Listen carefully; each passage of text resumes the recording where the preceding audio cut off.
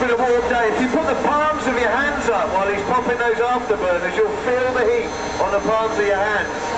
I actually relish that in our winter events here, the Saturday night special on the Flame of Thunder I was talking about earlier. When the jet cars go, it's a brilliant hand-warming experience.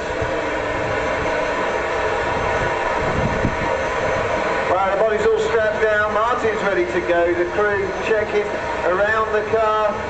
Next time you see the smoke, he'll hit the tiny little button which ignites all of that fuel in the afterburner and you have a ring at the back.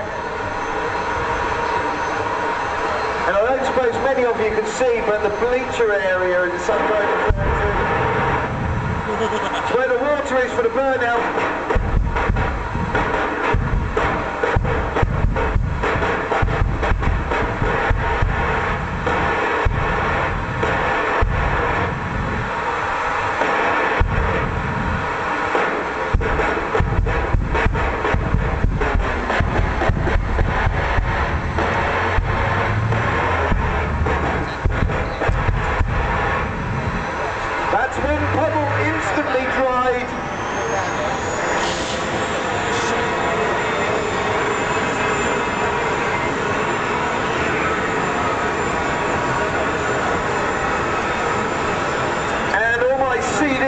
Now on the floor.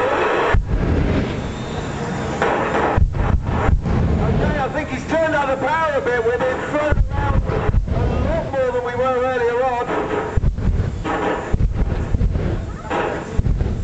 We could be looking at a low 590, may even possibly be a 580 on this run.